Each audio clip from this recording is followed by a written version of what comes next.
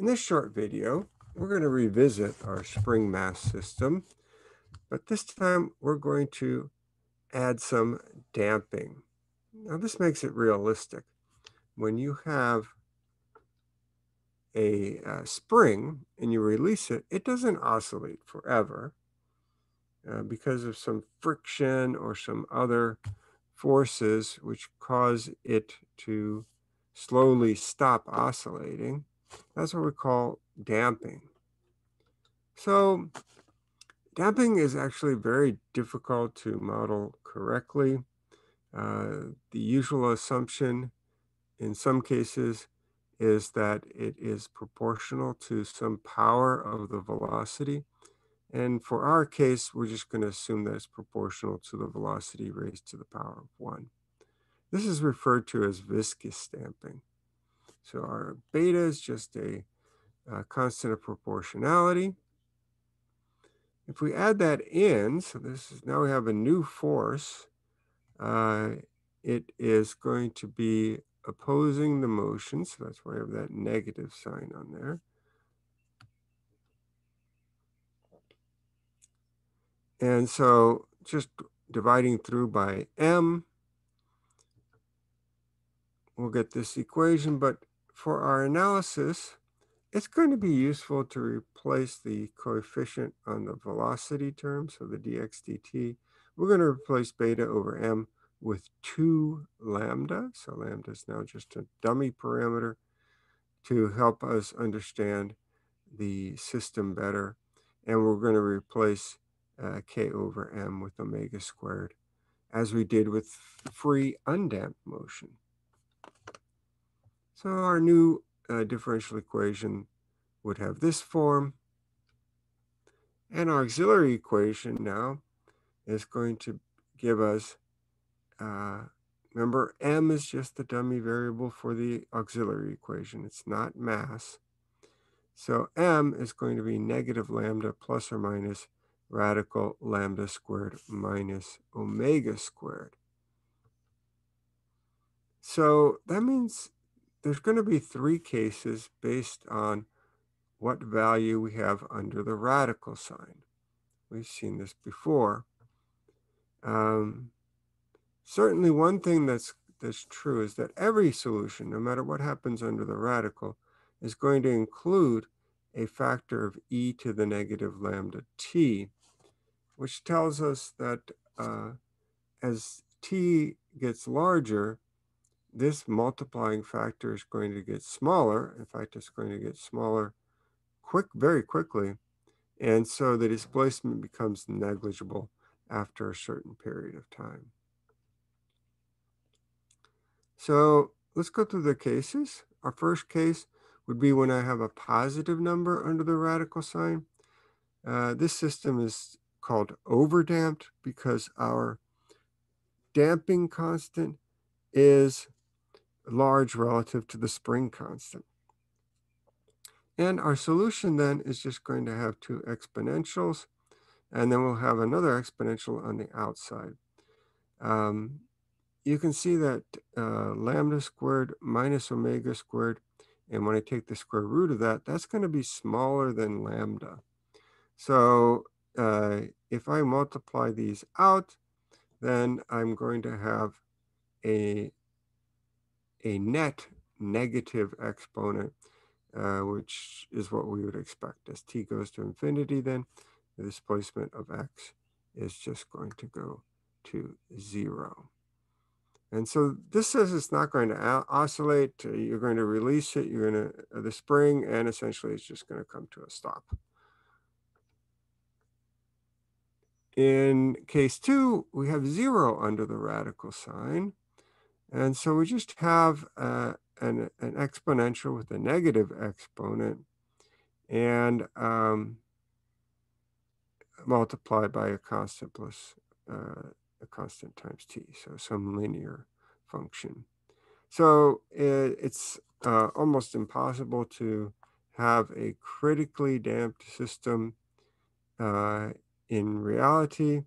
Uh, what it says is that any tiny increase in damping will result in oscillatory, os, oscillatory motion. And so um, it may have uh, critically damped uh, behavior for a very short period of time, but it will eventually start to oscillate. So in case three, we have a negative number under the radical sign, and that's telling us that we have an underdamped system, which means that the damping coefficient is relatively small compared to the spring constant.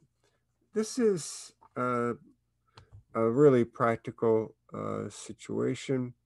Uh, generally, things that we in, in structural analysis, uh, objects that you're studying are generally very stiff uh, and they have a relatively small uh, damping constant. So here you have some oscillatory motion, but the uh, displacement or the period of the motion is decreasing exponentially.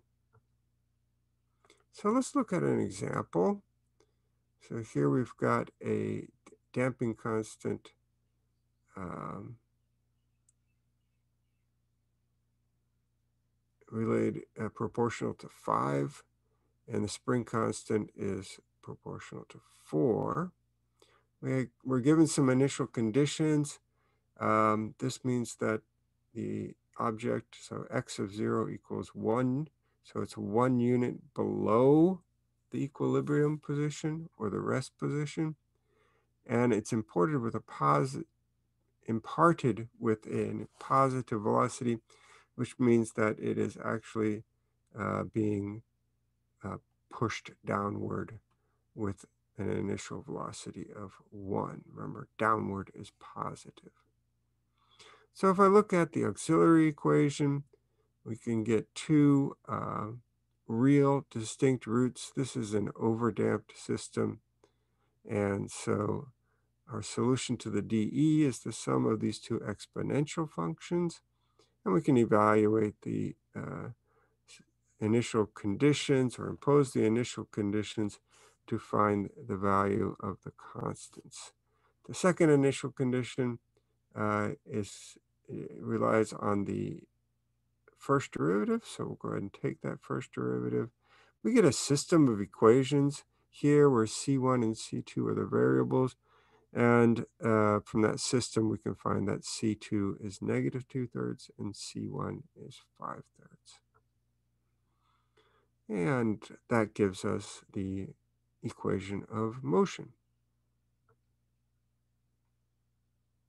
All right, so here we're given another example. We're told its weight, which is eight pounds. Eight pounds would be a quarter of a slug. It stretches a spring two feet. So that should be enough information to calculate the spring constant. We're told that the damping force is going to be 2 times dx dt. And we'd like to find the equation of motion given that the object is released from the equilibrium position with an upward velocity of 3 feet per second. So Hooke's law will help us determine the spring constant from the information that's given. Its weight has to equal the restoring force of the spring, and that gives us a constant, spring constant of k equals 4. We can go ahead and set up our differential equation. We include the damping force. We'll go ahead and write that in standard form by multiplying through by 4. We get the auxiliary equation, which tells us that we have a repeated uh, root of the auxiliary equation of negative 4. So we're going to have a, a, as a solution to the dE, we'll have the uh, exponential function being multiplied by a linear function. So it'll be uh, C1 plus C2 times T. So our initial conditions then tell us that uh, it's starting from the equilibrium position. So the initial displacement is zero, so C1 will have to be zero. And then in order to take advantage of the second initial condition, we need the derivative. So let's take the derivative and say that, oh, the initial condition, uh, so we're given an upward velocity. Upward would be negative. Remember, down is positive in this model. So x prime of 0 is negative 3.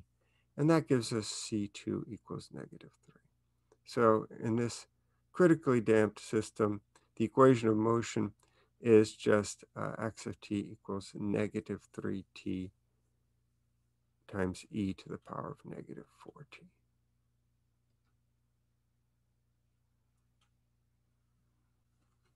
All right. In our third example, again, we're given the weight, so as 16 pounds, which would be half of a slug. It's attached to a five foot long spring. So that's the spring is five feet long before attaching the object to it. And when you do make the attachment, then the spring stretches to 8.2 feet. So that information should be enough to calculate the spring constant. Then we're told that the object is released from rest at a point two feet above the equilibrium position. So above would mean a negative displacement. And uh, from rest means that it's not imparted with any initial velocity. The initial velocity is zero. And we'd like to find the x of t, and we're going to be told that the damping force is going to equal the velocity. So we can first calculate the spring constant from Hooke's law. We'll set up our differential equation. So our damping force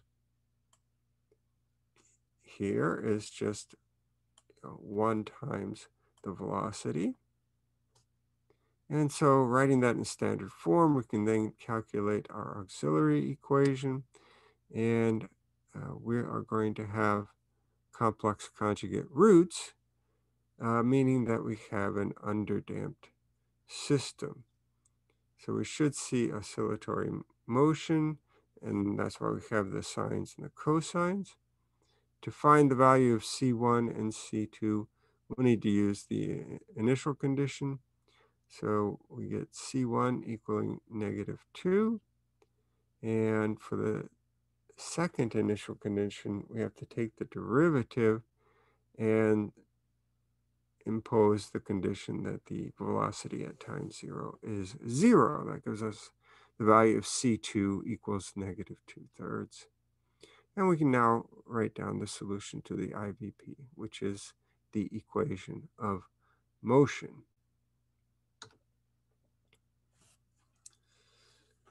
So the only thing that we haven't examined yet with our simple spring mass system is what if we have a forcing function, which is uh, affecting the spring mass system, and we'll look at that in the next video.